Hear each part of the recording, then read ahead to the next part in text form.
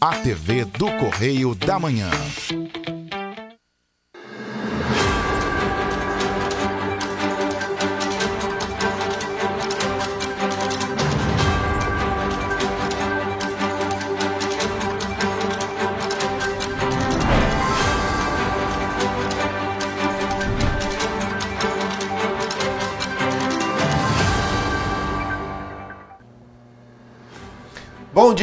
Sejam muito bem-vindos ao nosso Correio Serrano na TV. Muito obrigado pela sua presença, sua audiência. Terça-feira a gente vem com muita informação para vocês aqui na nossa tela da TVC. Bom dia, Roberta. Bom dia, Jorge. Bom dia para você que nos acompanha. Seja muito bem-vindo. Lembrando que você pode mandar para cá sua sugestão de matéria, sua reclamação, sua denúncia para os nossos canais, que são quais, Jorge? Olha, tá na sua tela o nosso e-mail, tvc, correio da manhã.gbi.com é o nosso e-mail. E tem o nosso telefone, 998398384. Manda sua mensagem, participa com a gente. E olha só, hoje em Petrópolis o dia amanheceu assim, meio nublado, aí tinha hora que aparecia uma nuvenzinha, né? Mas eu achei Frio. que o dia hoje amanheceu mais claro do que ontem. É verdade, tá? não tava aquela chuva, Mais frio. mais frio. O frio permanece ainda aqui na serra. E tá assim, né, agora, né? Nubladinho. né? Nubladinho É. e ainda friozinho, a Com gente não sabe, uma chuvinha. chuvinha, É. pois é. Vamos então às notícias desta terça-feira, dia 29 de agosto. Homem é preso pela Polícia Federal com aves silvestres e macacos na região de Mesquita, no Rio de Janeiro. SDF considera obrigatória a implementação do juiz das garantias. Paris está transformando plástico descartado em assentos para os estádios. Após cerca de 403 mil reais gasto em aluguéis, reformas do Liceu de Petrópolis são iniciadas. Inauguração da UPA Centro em Petrópolis marca a retomada de atendimento emergencial. Chuva em Petrópolis provoca queda de árvore e deixa a região do Independência sem luz. E mais, colisão entre dois carros deixa motorista ferido em Petrópolis. Agora no Correio na TV.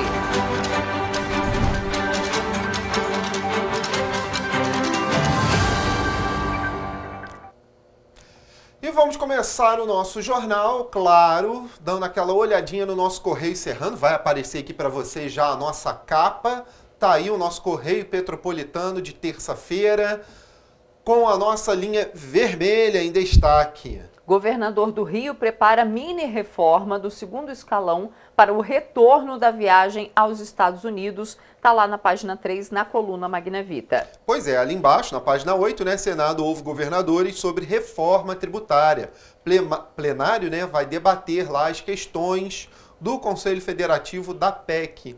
É a reforma tributária que vai poder ser aprovada. Não é a que todo mundo quer, mas é a que será possível ser feita. Petrópolis participa do primeiro fórum dos Conselhos Comunitários de Segurança. Está lá nas notas petropolitanas, página 10 e também na página 12. Ainda temos mais no nosso jornal. Ali temos o Dr. Luizinho, amplia a atuação da saúde no interior. A gente vai falar sobre isso também. Já já lá no nosso bloco 2 tem ação do Estado e o que está acontecendo com a vacinação. Liminar obriga 123 milhas a cumprir contratos na página 9, tá lá. Outro destaque, só que aqui de Petrópolis, e a gente traz uma reportagem completa para você, é a seguinte: reforma do Liceu deve custar 5 milhões de reais. E até agora bom, não começou ainda. Destaque da nossa página 10, mas a gente traz daqui a pouco a reportagem completa. Pois é, ali do outro lado, na página 10, Paraíba do Sul derruba a taxa de esgoto. A lei que proíbe a cobrança da tarifa de esgoto sem comprovação de tratamento foi sancionada na última semana em Paraíba do Sul. Olha só. Do outro lado, ali na página 7, lutador petropolitano leva estadual aí, falando sobre mais um lutador que ganhou, né? Mais um. mais uma competição de artes marciais, gente. E ali no meio, mínimo passa de 1.302 para 1.320. O presidente Lula sancionou nesta segunda-feira, em evento realizado no Planalto, o texto da medida provisória que reajusta, reajusta o salário mínimo. Eu estou até engasgada, porque, nossa, reajustou de 1.302 para 1.320. Isso os brasileiros não esperavam, né? Está aí a medida provisória sendo sancionada pelo presidente Lula, que reajusta o salário mínimo e amplia a faixa de isenção da tabela do imposto de renda da pessoa física. Mas é um escárnio, né? De 1.302 para 1.320, como se a inflação só tivesse comido aí quantos reais? 18 reais. 18 reais. Esse era o prometido, né? tá cumprindo. Mas é prometido, mas é uma piada. É uma piada. é uma, é piada. uma piada. Enfim. 18 reais o salário mínimo aumentou. Tá aí. É o que temos. Aumentou 18 reais, gente. E seguimos aqui, olha, falando sobre o Rio. Órgãos vão apurar situação da ETA Guandu. Gente, ontem a estação de tratamento de Guandu amanheceu com uma espuma e já se descobriram detergentes na água, outros químicos ali jogados. E agora vai ter investigação para ver o que aconteceu, né? Ainda temos a nossa página 2, a página de opinião, temos os destaques, é claro, do segundo caderno que você viu ali, tem várias coisas nele. Temos lá a nossa página da coluna Magna Vita, hoje sim, na página 3, normal nosso, o nosso jornal, né? Não há páginas extras aqui. Temos a página de política nacional, mas é claro que a gente vai lá para a nossa página 10 falar do nosso Correio Serrano, das coisas que acontecem aqui na nossa Serra Fluminense. Temos lá na nossa página 10 hoje muita coisa para ser falada, né? Demora na reforma do liceu é o grande destaque, não é isso? Exatamente. Lá na página 10, aluguel e obras vão custar quase 5 milhões de reais a Petrópolis. Eu vou ler um trechinho aqui Após mais de um ano dos alunos do liceu Prefeito Cordolino Ambrosio terem sido transferidos para um imóvel alugado por 31 mil reais por mês, as obras do prédio da nova escola finalmente começaram. A nova licitação da reforma foi realizada no início do ano, tendo como empresa vencedora a MPE Engenharia no valor de 4 milhões, praticamente. Esta é a segunda licitação realizada e ao todo já foram convidadas três empresas para assumir, uma delas desistiu e outra recusou. Então nós vamos, nós temos uma reportagem em vídeo, né? É. Porque mais de um, após mais de um ano dos alunos do liceu em Petrópolis estarem estudando nesse imóvel alugado, que já foi um grande colégio, né? Sim. É um grande colégio ali na Monte Caseiros o antigo Colégio São José, e esse imóvel alugado no valor de 31 mil Muito reais dinheiro. por mês. Finalmente, as obras do edifício lá da escola, do liceu, foram iniciadas.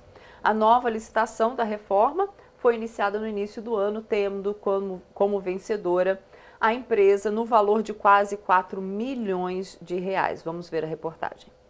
No dia 27 de junho de 2022, foi assinado o contrato de locação de um imóvel localizado na rua Monte Caseiros, no centro de Petrópolis, para a instalação provisória do Liceu Municipal Prefeito Cordolino Ambrósio, em virtude de reformas e adaptações necessárias na edificação da escola. O valor do aluguel foi definido em 31 mil reais mensais, totalizando 930 mil reais para um contrato de 30 meses. Somente após mais de um ano de aluguel, sendo gastos cerca de 403 mil reais, as obras tiveram início no prédio da instituição escolar, que fica na Rua dos Milionários, no centro da cidade. Esta é a terceira empresa a ser convidada a assumir as intervenções da instituição. A vencedora da primeira licitação, que foi realizada em 2021, foi a Vale Comércios e Serviços, num valor total de R$ 2 milhões 733 mil reais. A empresa assumiu o compromisso por um tempo, mas depois acabou desistindo de realizar as obras. Então, no ano passado, a administração municipal Municipal convidou a segunda colocada a realizar as intervenções, que foi a empresa FCK Construções, que acabou recusando. Somente no dia 15 de março deste ano foi realizada uma nova licitação, na qual a MPE Engenharia e Serviços foi a vencedora no valor de 3.956.284 reais, mais de um milhão de reais a mais do que o programado. No novo contrato, o prazo de realização da obra é de 300 dias. Questionado em janeiro de 2023 sobre o porquê do aumento entre as licitações, o prefeito Rubens Tempo respondeu ao Correio Petropolitano que a nova licitação abarcaria mais serviços do que a concluída em 2021. Enquanto isso, o vereador Eduardo do Blog afirmou que está acompanhando as obras. Levantamos o contrato justamente para entender o porquê de tanta demora e se houve algum tipo de aditivo, né, recurso a mais, além do que está estabelecido ali na placa, além do que foi divulgado para a imprensa e para a população. Então a gente vai estar tá trazendo isso a público muito em breve, já que nós estamos fazendo através da nossa equipe, né, dos nossos assessores que são advogados, fazendo avaliação desse contrato. O que a gente sabe até o momento é que mais uma obra da Prefeitura de Petrópolis está atrasada, prejudicando a vida da população e dos alunos né, que querem o liceu de volta. Na última semana, a Prefeitura informou que entre as intervenções que vão acontecer na escola estão a melhoria na acessibilidade, troca de pisos, revestimentos, ampliação do refeitório, substituição de telhas, reforma e construção de banheiros e reparo na cobertura das placas. Ainda segundo a Prefeitura, os alunos continuarão estudando no prédio alugado até o final da obra, contando que será cumprido o contrato de 30 meses de aluguel sem nenhum reajuste, mais o valor da nova licitação. As reformas no liceu custarão R$ 4.886.284 ao cofre público. Pois é, gente, dinheiro que vai sair do bolso aí do Petropolitano, hein? Que dinheiro coisa sendo jogado ralo abaixo, né? exatamente. Escoando pelo ralo, né? Que dinheirama jogado aí pelo ralo, exatamente. E, gente, ainda tem mais lá no nosso jornal, né, ali para a região serrana, falando da previsão de chuva, que é até quinta-feira. Ah, Pode gente, ser que hoje o sol. É terça. É, hoje é terça, é. Pode ser que o sol lá na sexta-feira dê o ar da graça aqui na região serrana. Mas tem aqui a matéria dizendo que essa previsão se mantém até, dia, até quinta, né?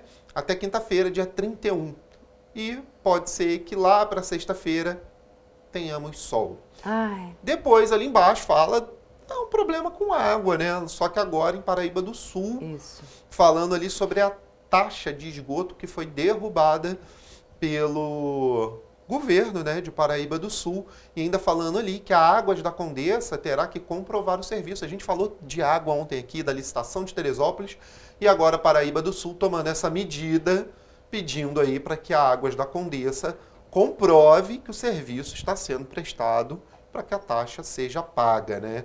Voltando aí. Temos tem outras notícias, né? Exatamente. O correio, as notinhas petropolitanas ali estão cheias de notas interessantes, visibilidade lésbica. A Câmara Municipal de Petrópolis promove na próxima quinta-feira, dia 31, uma audiência pública voltada ao mês da visibilidade lésbica. Temos também o primeiro Fórum de Segurança. Temos também as indenizações. Vamos ler essas notinhas aqui porque isso é importante. Olha só, primeiro Fórum de Segurança, a gente vai começar lendo ali nas petropolitanas. O presidente do Conselho Comunitário de Segurança de Petrópolis, Guilherme Lacombe, esteve na segunda-feira no primeiro Fórum Permanente dos Conselhos Comunitários de Segurança do Rio. O encontro que reuniu representantes das forças de segurança de todo o estado foi aberto pelo governador Cláudio Castro e durante o fórum também foi lançada a nova versão do aplicativo 190RJ, que foi atualizado com novas funcionalidades. Está aí, governo do estado, parabéns, porque esse número 190 é. realmente precisa ser utilizado um combate aí à criminalidade, né? Exatamente. né? Principalmente aí em municípios pequenos como Petrópolis, Teresópolis, né? Que a gente tem que manter seguro, né? E vamos agora às indenizações, ó. Indenizações é. 1, 2, 3 e 4. É o caso lá da, das indenizações aqui da tragédia, não é? De das 2022, vítimas, né? Das exatamente. Vítimas. Olha só, a Defensoria Pública está acompanhando o atraso no pagamento das indenizações às vítimas da tragédia de 2022, conforme foi firmado com a Prefeitura no TAC, que é o termo de ajustamento de conduta. Isso. Aí tem indenizações 2. Pois é, os pagamentos né, estão sendo feitos em lotes às famílias. Dois venceram na semana passada, um foi pago. mas com atraso. O TAC prevê multa de 10% e correção monetária de 1% ao mês. É isso aí. Pois é, mas não vem acontecendo isso não, porque aí tem indenizações 3. Exatamente. O município ainda terá que pagar um valor de 3 mil reais para cada atraso por danos irreparáveis materiais e pessoais. O curioso é que a sugestão de cobrança de multa partiu da própria prefeitura. Pois é, e na indenização 4, o atraso é justificado pela prefeitura por causa da queda na arrecadação de ICMS, que é aquele caso qual foi mudado pelo TCE, né, o Tribunal de Contas do Estado, a indexação ali dos repasses do ICMS do Estado para os municípios. Né? Lembrando que a Prefeitura ainda tem um empréstimo de 100 milhões com a Caixa para pagar. Haja rolo. Pois e é. é, prefeito, tá enrolado o negócio para Agora senhor, eu te viu? pergunto, se você tiver algum problema de saúde, algum gasto extra, na hora de pagar o seu IPTU, Não vai você ter chega lá assim, desconto. gente, eu tive uns problemas, É. não consegui pagar na data, eles vão te O descontar? problema é seu. Exatamente. Então, infelizmente, a prefeitura tem que se virar nos 30 e fazer esses pagamentos, né? Pois é. Gente, essas são as notícias do nosso Correio Serrano na TV. Tem muito mais no nosso jornal, você confere, é claro. No nosso site vai aparecer para você aí já já o nosso site correiopetropolitano.com.br e é claro, aqui na- no, no site da TVC, né, tvc.16, você fica ligado em todas as atualizações. E se você quer saber mais, vai até as bancas, o Correio Petropolitano já está lá disponível com todas as notícias do Brasil, do mundo e da Serra para você conferir. Dois reais só para ficar bem informado, gente. A gente faz agora um rápido intervalo e na volta você vê que o governo propõe elevação de limite anual do MEI. E você vai ver também, olha, a Secretaria de Estado de Saúde vai destinar 4 milhões de reais para a criação de salas de vacinação. Essas salas serão permanentes, tá? O Correio Serrano volta já.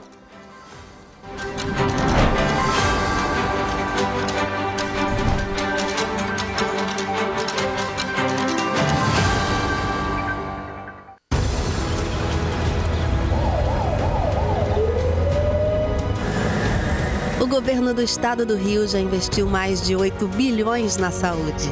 E se eu dissesse que esse é o maior investimento na saúde já feito em toda a história do Rio? Eu diria que melhorou, mas eu quero mais.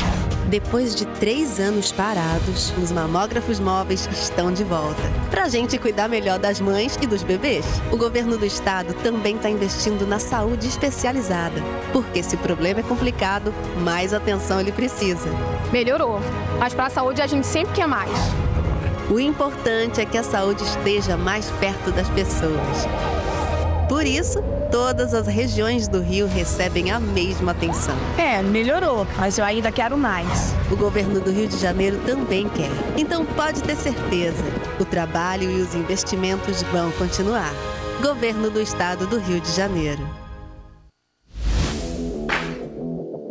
Para ter mais qualidade de vida, conte com a maior rede de academias de Petrópolis. Aqui na Corper, com uma mensalidade, você utiliza todas as unidades: Centro, Bingen, Itamaraty e Itaipava. Com planos a partir de 84 reais, a academia oferece ambientes modernos para você cuidar da sua saúde com segurança.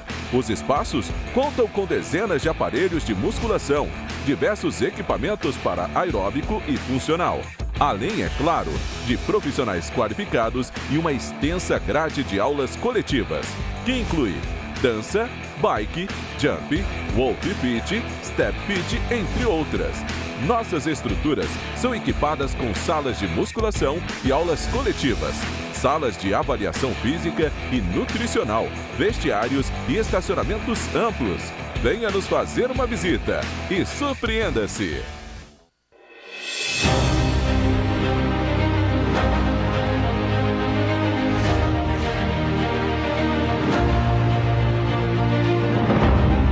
Jornalismo de direita, é jornalismo direito. Correio Petropolitano. Tudo que seu jornal não deveria ter deixado de ser. Todos os dias, em uma banca perto de você.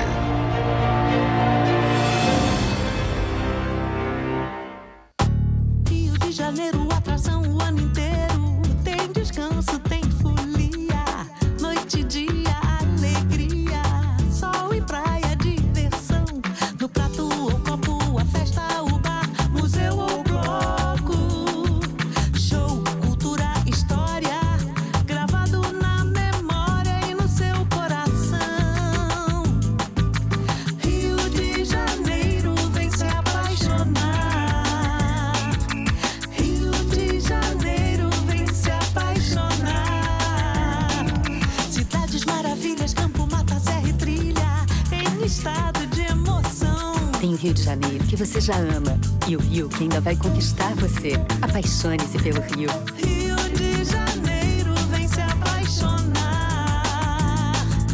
Rio de Janeiro vem se apaixonar.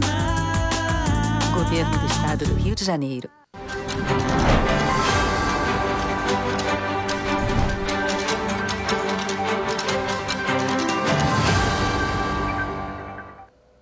Estamos de volta. E a Polícia Federal prendeu um homem que mantinha de forma ilegal 44 aves silvestres e dois macacos prego no bairro Coreia, em Mesquita, no Rio de Janeiro. Os espécimes resgatados incluíam um macaco prego e, entre os pássaros, trinca-ferro, tizil, coleirinho do brejo, entre outros. Essas espécies de pássaros têm grande valor no mercado clandestino e são frequentemente utilizadas em competições de canto ilegais. Os animais resgatados foram entregues ao Instituto Brasileiro do Meio Ambiente e Recursos Naturais Renováveis, do IBAMA, para reabilitação, enquanto o detentor dos animais foi conduzido à Delegacia de Polícia Federal de Nova Iguaçu, onde foi lavrado flagrante com base na Lei de Crimes Ambientais. Após a formalização da prisão, o homem foi encaminhado ao sistema prisional do Estado, onde permanece à disposição da Justiça. É, pois é, crime, gente, ambiental. E olha só, o Supremo Tribunal Federal decidiu que o juiz das garantias é constitucional. Ficou estabelecido que a regra é de aplicação obrigatória, mas cabe aos estados, o Distrito Federal e a União definir o formato. De acordo com as novas regras, o juiz das garantias é a autoridade que vai atuar só na fase de instrução do processo e será responsável por fiscalizar a legalidade da investigação criminal, autorizando medidas como prisões, quebras de sigilo e mandados de busca e apreensão. Ele tem a função de garantir os direitos individuais dos investigados. O tribunal também entendeu que a investidura do juiz das garantias deve seguir as normas de organização judiciária de cada esfera da justiça observando critérios objetivos a serem divulgados pelos tribunais. Hoje nós vamos com o juiz das garantias, que tem um prazo de 12 anos para começar, o magistrado vai acompanhar durante o inquérito. Quando acontecer a denúncia, nós teremos um outro juiz. A decisão definiu o prazo de 12 meses, podendo ser prorrogado por mais um ano para que leis e regulamentos dos tribunais sejam alterados para permitir a implementação do novo sistema a partir de diretrizes fixadas pelo Conselho Nacional de Justiça. Também houve consenso no sentido de que o juiz das garantias não vai atuar nos casos de competência do Tribunal do Júri e de violência doméstica. Contudo, deverá atuar nos processos criminais no âmbito da justiça eleitoral. Foi mantida também a regra que proíbe que as autoridades penais façam acordo com a imprensa para a divulgação dos casos. Segundo a decisão, as informações devem seguir as normas constitucionais para a eficácia do caso. Do município que só tem um juiz, como Sapucaia, aqui no Rio de Janeiro, só tem um juiz. O juiz de lá vai é, autorizar busca e apreensão, vai interceptação telefônica, só que não terá possibilidade de julgar. A pessoa vai ter que sair daquela comarca para ir para outra. Do município que só tem um juiz, como Sapucaia, aqui no Rio de Janeiro, só tem um juiz. O juiz de lá vai é, autorizar busca e apreensão, vai interceptação telefônica, só que não terá possibilidade de julgar. A pessoa vai ter que sair daquela comarca para ir para outra. E o teto de enquadramento do profissional autônomo em microempreendedor individual poderá quase dobrar. O Ministério do Desenvolvimento, Indústria, Comércio e Serviços informou que propôs elevar de 81 mil reais para 144.900 reais o limite anual de faturamento para a categoria. A medida prevê é, a medida, perdão, depende de aprovação do Congresso Nacional. No regime tributário simplificado, os microempreendedores individuais pagam apenas a contribuição para a Previdência Social e o imposto sobre a circulação de mercadorias e serviços ou o imposto sobre serviços, dependendo da atividade. O Ministério também quer criar uma rampa de transição para que o MEI que amplifique que amplie o faturamento, seja considerado microempresa e migre para o Simples Nacional. Segundo o MDIC, o Comitê Técnico MEI, que faz parte do Fórum Permanente das Microempresas e das Empresas de Pequeno Porte, aprovou uma minuta com as medidas. Atualmente há 15 milhões e 400 mês registrados no país. Com o novo teto de faturamento, 470 mil novas empresas poderão se transformar em MEI. A pasta não divulgou a estimativa de renúncia fiscal com a medida. De acordo com a Receita Federal, o governo deixa de arrecadar mais de 5 bilhões por ano com o regime especial. Gabriel Fachola, de volta ao estúdio. E olha só, gente, as Olimpíadas de Paris em 2024 já está quase aí, né? Está chegando, mas enquanto a gente espera o início dos Jogos Olímpicos, o evento anuncia novas maneiras de ser sustentável e aumentar a conscientização sobre a reciclagem. No próximo ano, os participantes das Olimpíadas de Paris estarão sentados em cadeiras feitas de plástico reciclados de lixeiras locais. Marcos Hamelot, cofundador da Le Pavé, empresa de construção ecológica por trás da iniciativa, afirmou à imprensa que, por conta da escassez de materiais virgens, muitos fabricantes foram direcionados a migrar para o lixo. Segundo ele, os fabricantes de plásticos pararam completamente de operar, não porque não houvesse mais pedidos, mas porque não havia mais material. Por isso, o setor foi buscar ajuda na produção de resíduos. As cadeiras feitas de plástico reciclado são apenas a mais recente forma de as Olimpíadas de Paris se comprometerem a serem sustentáveis e seguirem sua promessa de serem as Olimpíadas mais ecológicas até agora. Em março, os organizadores olímpicos se comprometeram a reduzir as emissões no evento e realizar os Jogos sem ar-condicionado. As cadeiras recicladas terão como objetivo reduzir o consumo de energia e a produção de novos resíduos. Os Jogos planejam ter cerca de 11 mil assentos feitos de materiais reciclados. 80% do material reciclado vem das 100 toneladas de plástico reciclado da cidade de Sienne-Saint-Denis, os plásticos estão sendo recolhidos nas escolas da região, nos supermercados, e cerca de 5 milhões de tampinhas de refrigerante foram recuperadas para esta iniciativa. Que bacana, né?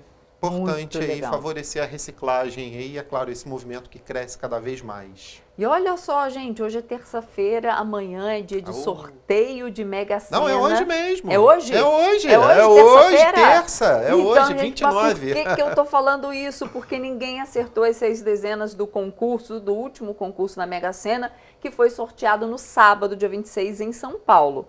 Na ocasião, as dezenas sorteadas foram 9, 10, 35, 44, 55 e 58. A estimativa para o próximo sorteio, que é hoje, é de que o prêmio ultrapasse 37 milhões.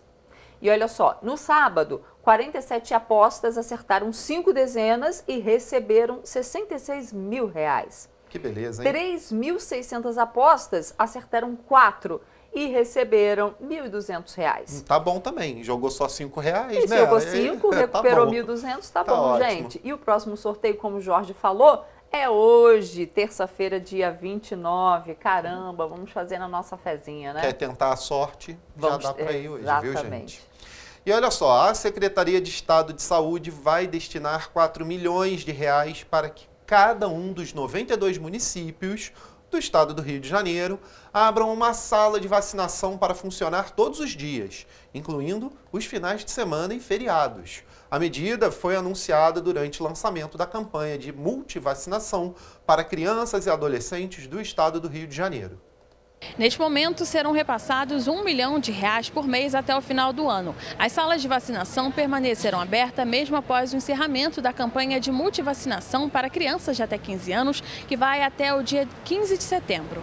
As 16 vacinas estarão à disposição e a expectativa é que 95% do público-alvo de cada cidade seja alcançado. Essa, esse número é preconizado pelo Ministério da Saúde. E, além disso, as maternidades da rede estadual passarão também a vacinar é, a BCG e todas as gestantes atendidas nessas unidades precisarão assinar um termo para que a caderneta de vacinação dos bebês possam continuar sendo atualizadas. Larissa Martins, de volta ao estúdio. Lea. Opa, voltamos aqui. É, eu vou pedir para o meu master puxar uma matéria ali para a gente dar depois, que a gente tem que falar sobre carros arranhados ainda hoje, né? Aqui em Petrópolis, É. né, tá acontecendo muito. Mas Isso. agora a gente vai para a passagem de bloco, né? A gente vai fazer um rápido intervalo e você vai ver que a chuva em Petrópolis provoca queda de árvore e deixa a região do Independência sem luz. Pois é, aí como eu falei, a gente vai falar sobre carros arranhados aqui, que ainda está causando muito problema na cidade, né? E você vai ver também que a inauguração da UPA Centro de Petrópolis marcar a retomada, né? Do atendimento emergencial no centro. A gente falou ontem sobre essa obra, hoje a gente vai trazer mais sobre. Voltamos já.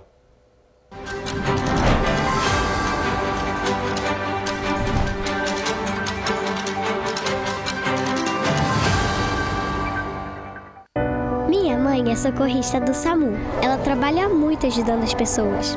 Ela tá sempre pronta para atender todo mundo, em todo canto da cidade. E para atender as pessoas com mais agilidade, agora tem até moto, a motolância, e helicóptero também. Ela me contou que agora o Rio tem muito mais SAMU.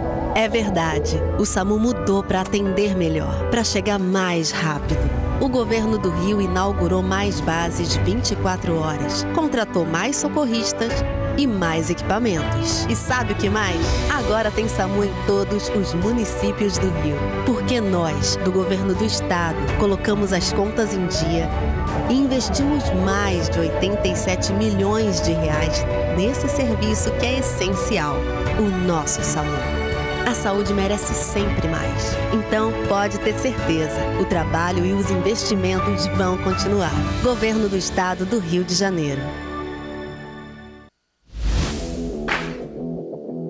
Para ter mais qualidade de vida, conte com a maior rede de academias de Petrópolis. Aqui na Corper, com uma mensalidade, você utiliza todas as unidades: Centro, Bingen, Itamaraty e Itaipava. Com planos a partir de 84 reais, a academia oferece ambientes modernos para você cuidar da sua saúde com segurança. Os espaços contam com dezenas de aparelhos de musculação, diversos equipamentos para aeróbico e funcional.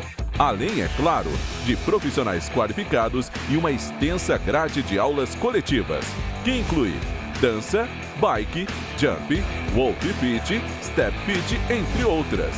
Nossas estruturas são equipadas com salas de musculação e aulas coletivas, salas de avaliação física e nutricional, vestiários e estacionamentos amplos. Venha nos fazer uma visita e surpreenda-se! Janeiro, atração o ano inteiro. Tem descanso, tem folia. Noite e dia, alegria. Sol e praia, diversão. No prato ou copo, a festa, o bar, museu ou bloco. Show, cultura, história. Gravado na memória e no seu coração. Rio de Janeiro, vem se apaixonar. Governo do Estado do Rio de Janeiro.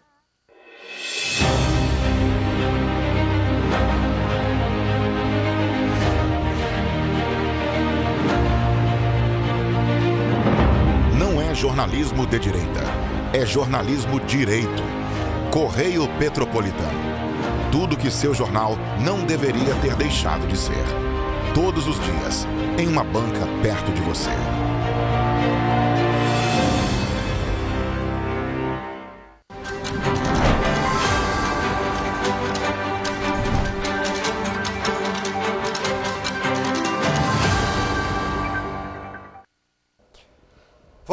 E a gente vai falar, claro, do caso do problema dos arranhões, né, do vandalismo aqui na cidade aos carros que ficam parados no centro de Petrópolis. Né? Os carros que ficam estacionados ali nas áreas de rotativos estão sendo arranhados em diferentes ruas da cidade. Pois é, na última semana, outro caso chamou a atenção dos moradores, só que agora do retiro.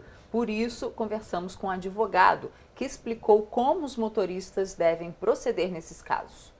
Já não é mais possível se sentir seguro nas ruas de Petrópolis. Os motoristas que costumam deixar os carros estacionados nas áreas rotativas estão sendo surpreendidos. Desde o início do mês, os veículos estão sendo arranhados sem nenhum motivo aparente. Os relatos são de ruas como Paulo Barbosa, Rua da Imperatriz, do Imperador e o último caso foi registrado no Retiro. Até o momento, ninguém foi identificado como culpado pelos atos de vandalismo. A senhora confia em deixar o carro assim na rua?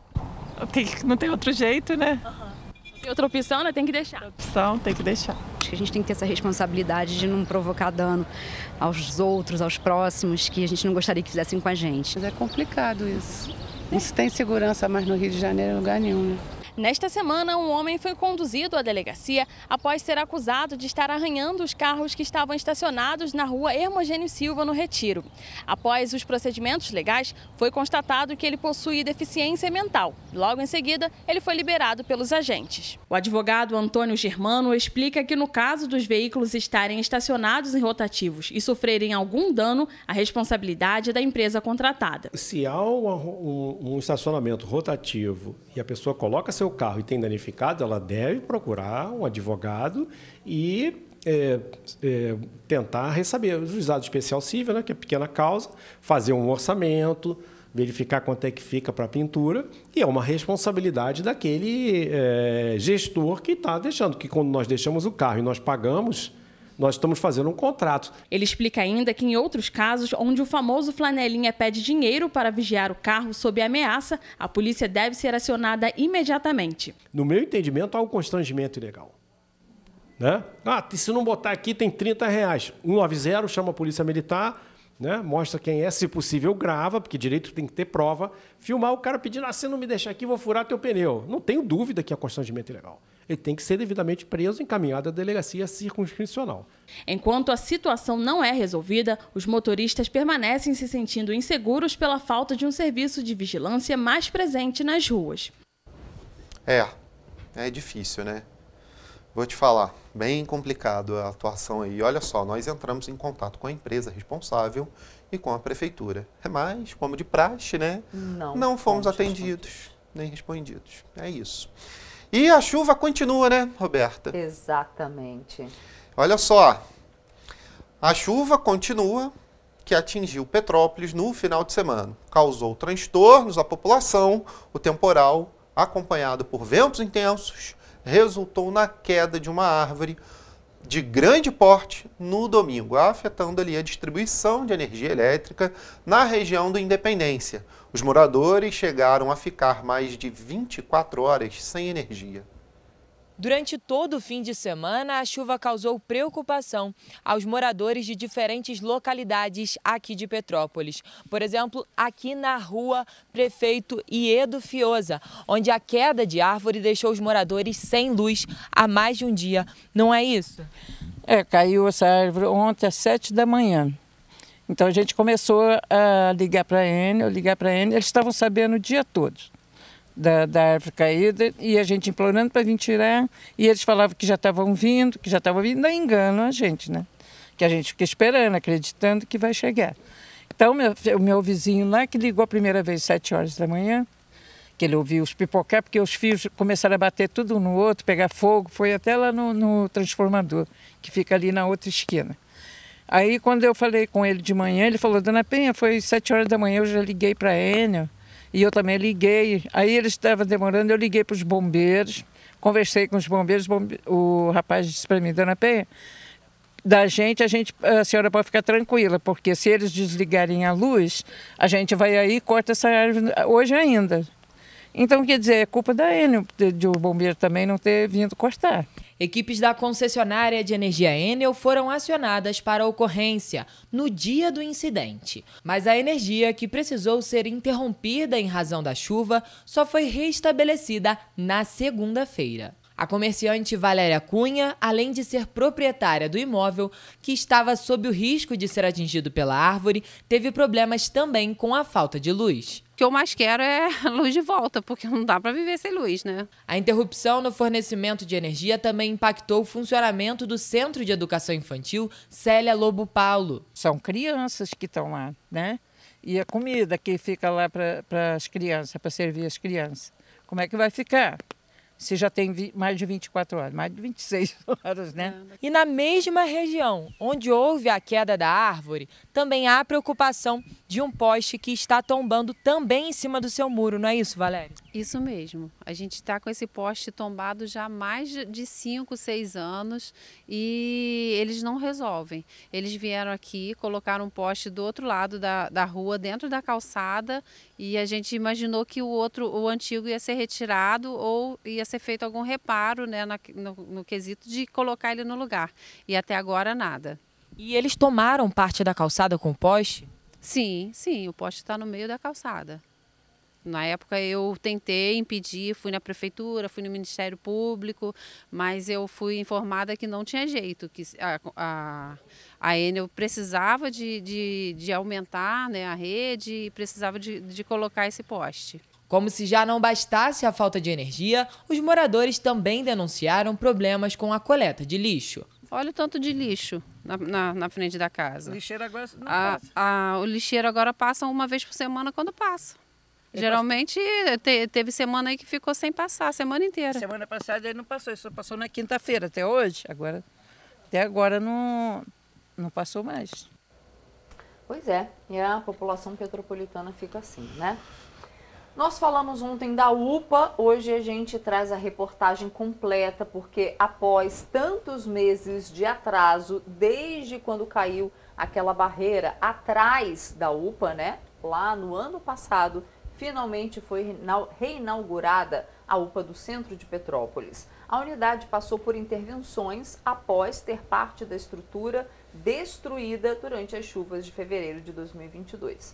Mas um documento enviado pela própria prefeitura ao Superior Tribunal de Justiça aponta que o valor de 4 milhões de reais que custou a obra ainda não foi quitado.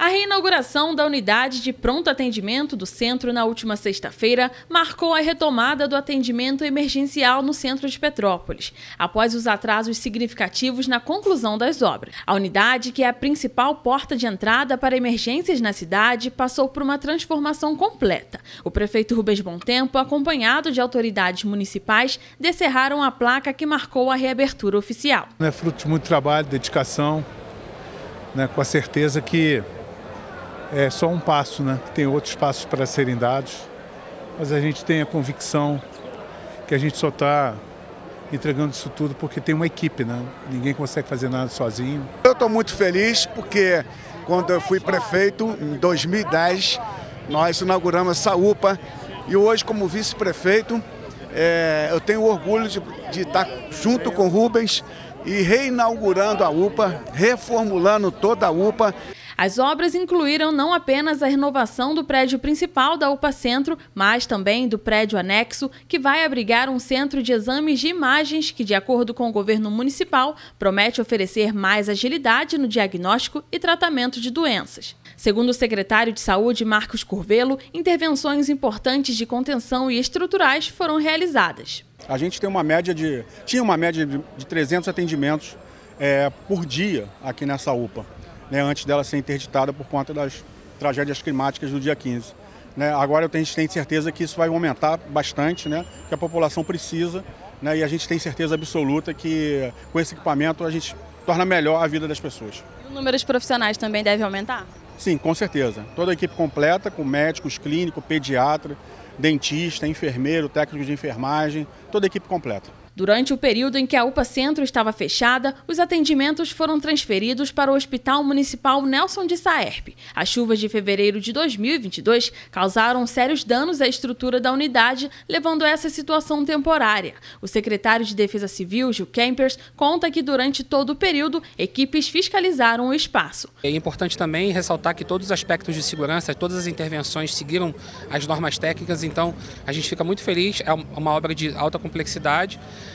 e que a a empresa atendeu todas as exigências e a gente consegue eh, garantir que a população retorne a usar a localidade numa condição de segurança. O valor investido na obra foi mais de 4 milhões de reais. A intervenção estava prevista para ser entregue no mês de março, mas aconteceram alguns imprevistos e o prazo não foi cumprido. Com isso, a prefeitura estabeleceu um novo prazo que não foi cumprido também até o mês de julho. No documento que a prefeitura enviou ao Superior Tribunal de Justiça para pedir a derrubada da decisão do ICMS, mostra que grande parte desse valor de 4 milhões ainda não foi pago pelo governo municipal à empresa responsável pela intervenção. O texto diz ainda que se o valor não for transferido ao município, não será possível realizar o pagamento à empresa.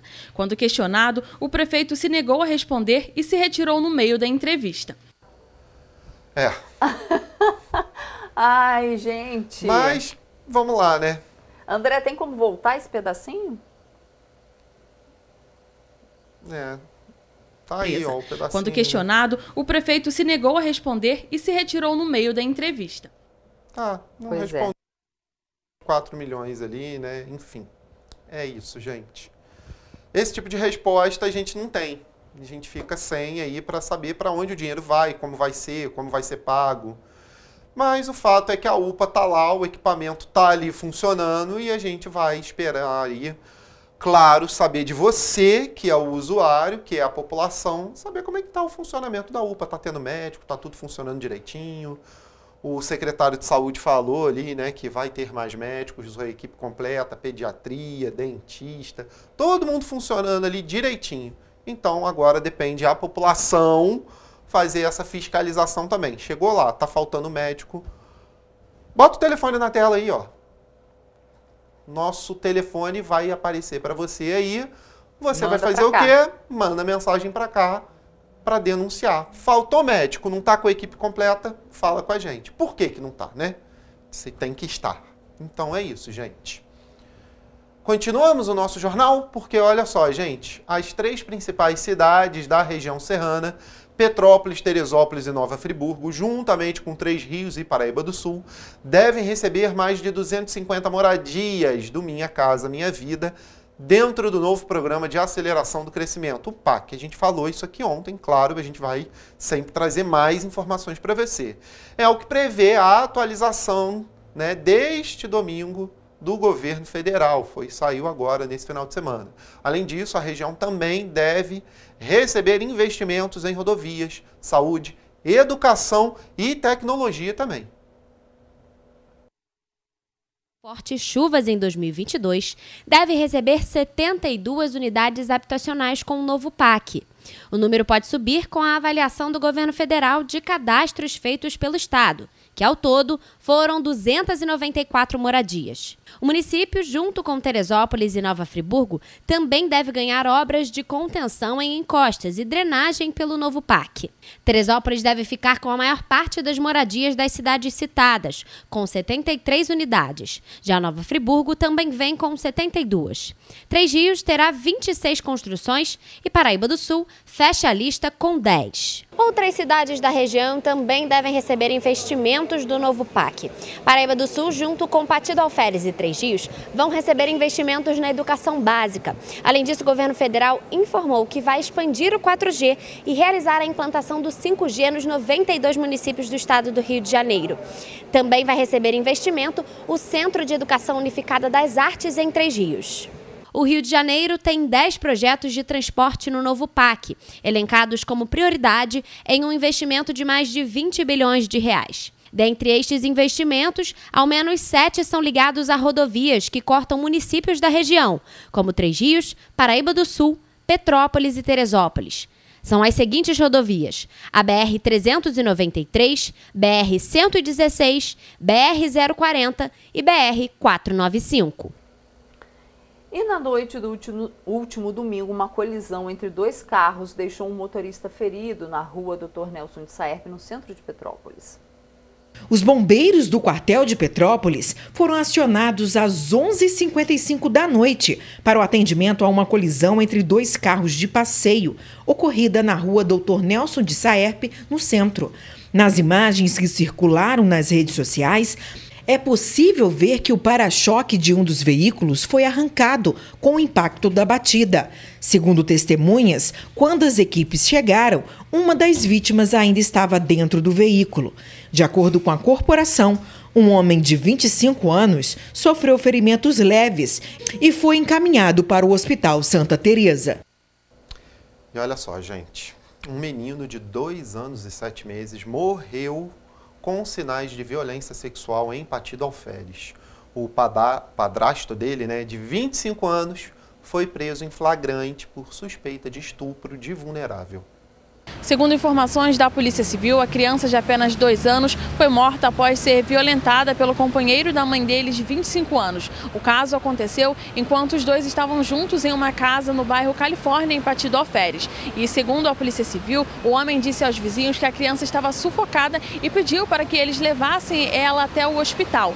em Miguel Pereira. Chegando lá, o menino estava em estado gravíssimo e foi submetido a exames que apontaram lesões no ânus e também sangramento na região abdominal. A equipe médica tentou ressuscitar a criança, mas infelizmente não conseguiu e a criança acabou vindo a óbito. Os agentes foram até o endereço do suspeito e ele foi preso em flagrante e o homem foi, foi conduzido para a delegacia de Miguel Pereira e outras pessoas também estão sendo investigadas. Larissa Martins, de volta ao estúdio.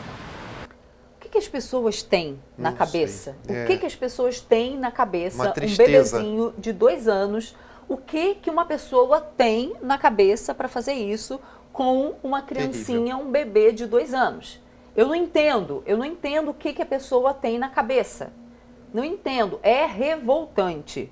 Gente, tem nota da Concer, né? Porque o quilômetro 84 da subida da Serra de Petrópolis, no sentido Juiz de Fora, prossegue parcialmente interditado preventivamente nas imediações do Mirante do Cristo. É, chove em diversos trechos da rodovia, a serra tem neblina, tá? A concessionária pede aos motoristas que reduzam a velocidade e dobrem a atenção ao volante. Redobrem, né? Também a atenção ao volante. Tem que ficar atento. É. E o incêndio em uma casa foi registrado na rua Doutor Tosetti, em Petrópolis, no último domingo. Por sorte, ninguém ficou ferido.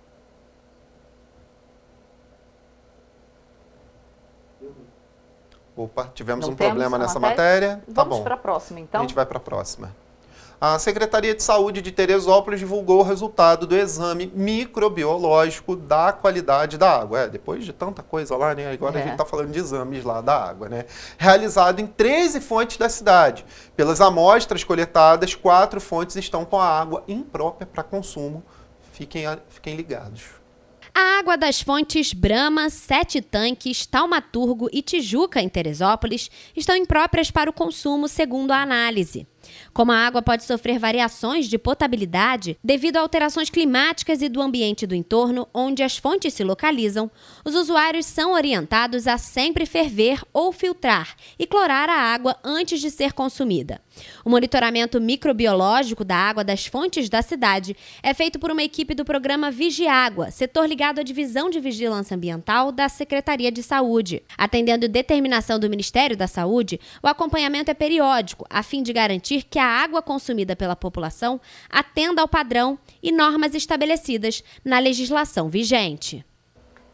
E os petropolitanos já estão com os guarda-chuvas nas mãos, né? Depois de uma onda de calor intensa na semana passada, a chuva chegou intensa na cidade desde o finalzinho de sexta-feira e a previsão é de chuva para o resto da semana. Vamos conferir a reportagem e depois a previsão.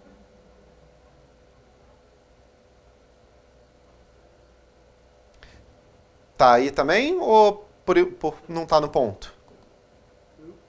Se tiver, vamos então para a previsão do tempo? É, vamos ver.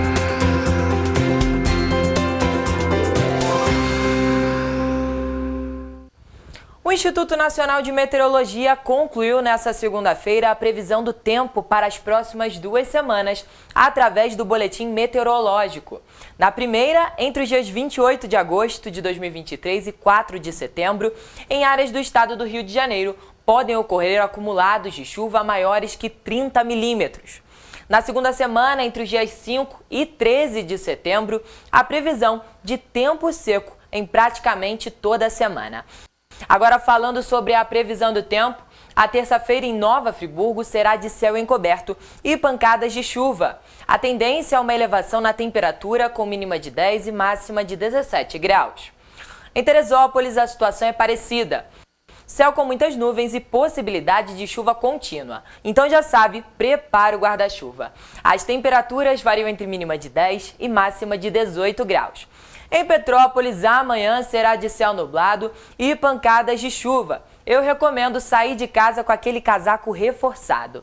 No termômetro, as temperaturas variam entre mínima de 11 e máxima de 20 graus. Paraíba do Sul amanhece com céu com muitas nuvens e possibilidade de pancadas de chuva durante todo o dia. A tendência é que a temperatura se eleve, com mínima de 14 e máxima de 22 graus. Em Pátio do Alferes, a previsão é de chuva durante todo o dia. As temperaturas variam entre mínima de 13 e máxima de 23 graus. O céu encoberto e as pancadas de chuva também serão presentes durante toda a terça-feira em Três Rios. As temperaturas variam entre mínima de 13 e máxima de 23 graus. Já os ventos serão fracos nessa terça-feira nas cidades citadas aqui na previsão e que integram parte do interior do estado do Rio de Janeiro. Mas é sempre bom lembrar que, em caso de emergência, a população deve entrar em contato com o Corpo de Bombeiros por meio do telefone 93 ou falar com a Defesa Civil no número 99.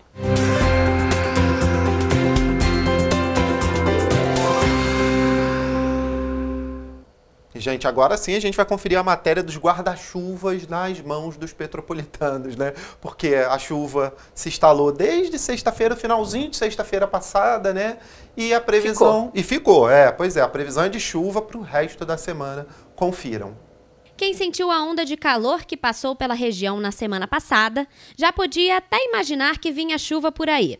Mas a previsão para Petrópolis é de chuva até quinta-feira. Na noite deste domingo, a Defesa Civil Municipal emitiu um alerta de tempo instável no município em função do transporte de umidade do oceano. A previsão é de muita chuva para a maior parte do Brasil. De acordo com o Instituto Nacional de Meteorologia, principalmente em áreas do Rio de Janeiro, Espírito Santo e o leste de Minas Gerais, para as próximas duas semanas, a previsão é de que os volumes de chuva sejam maiores do que 30 milímetros. Em Petrópolis, até amanhã desta segunda-feira, a Defesa Civil havia contabilizado sete registros de ocorrências por conta das chuvas desde a última sexta-feira, sem gravidade e sem vítimas. Foi registrado um afundamento de via no Duarte da Silveira, duas quedas de árvores na Mosela e em Araras, um deslizamento com risco de atingir imóvel no Independência, uma rachadura também no Independência, uma avaliação de risco estrutural a imóvel no Alto da Serra e uma avaliação de muro na Mosela. E quando a gente olha a região sudeste, aqui nessa parte norte e leste de Minas Gerais, praticamente todo o Espírito Santo, Rio de Janeiro e ainda o litoral de São Paulo. Muito cuidado, essas chuvas podem sim proporcionar um impacto para a sociedade, porque ao longo do dia essas chuvas vão estar com volumes bastante significativos, em alguns momentos com rajadas e também não se, não se descarta trovoadas isoladas. Além da chuva, as temperaturas também caíram. O site do Clima Tempo explica que o ar polar avança pelo continente e diminui as temperaturas em boa parte do sudeste.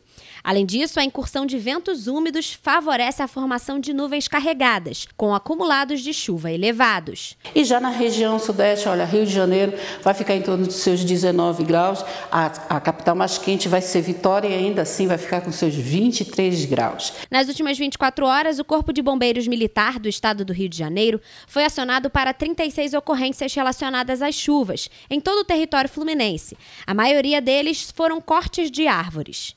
Além disso, foram registrados quatro deslizamentos ou ameaças de desabamento, todos sem vítimas. A Defesa Civil de Petrópolis reforça que a população das áreas de risco se mantenha em alerta e, principalmente, que não permaneça em áreas interditadas.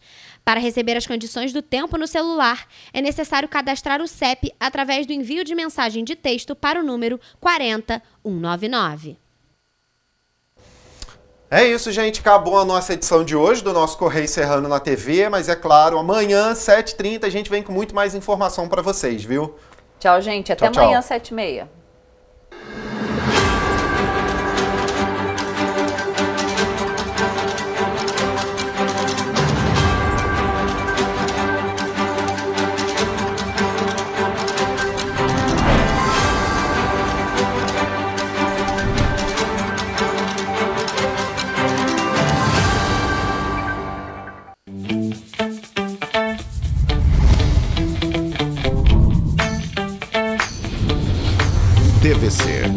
A TV do Correio da Manhã.